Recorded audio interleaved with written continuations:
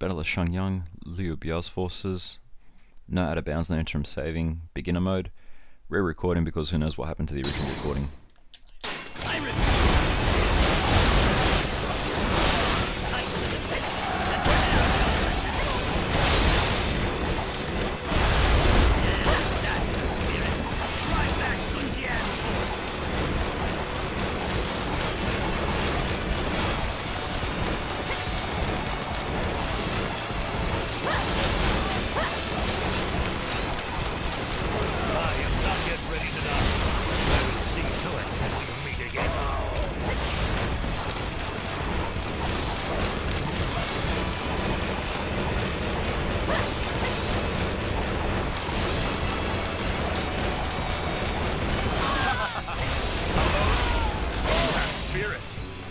You sure are strong.